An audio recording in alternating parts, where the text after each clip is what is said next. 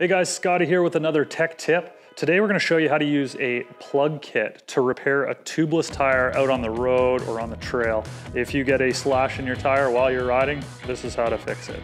The tools we're gonna need, a plug kit. We sell these Ryder Innovations plug plugs. They're pretty awesome. And a pump or a CO2.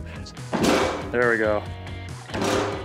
So we got a nail in our tire and you pull it out and you're starting to lose air First thing you want to do is spin the wheel to the bottom. Sealant is going to go to the bottom and hopefully start filling the hole. And then if the hole is too big and the sealant's just not doing the job, you find your hole, which is right here, and you're going to take your plug with a bacon strip preloaded. Basically just going to shove our tool in there, get the bacon strip in. You can see it's kind of about halfway there or so.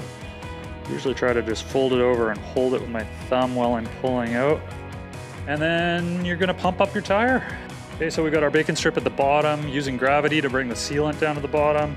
We're gonna put our pump back on and we are gonna inflate. Pretty hard. okay, I brought a, a real nail. Wow. I can't believe people actually get flats on the trail. That is a tough,